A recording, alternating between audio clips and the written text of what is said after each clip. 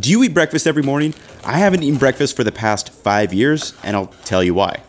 I, probably like many of you, grew up being told it was the most important meal of the day, but I find not eating breakfast supremely useful. For one, I'm not the biggest fan of breakfast foods, but more importantly, it's one less thing for me to worry about in the morning. I find I have much more focus when working without having eaten breakfast, and it means I get to eat more at lunch and dinner. It may not work for everyone, but I don't think I'm ever going back, except for the occasional breakfast sandwich.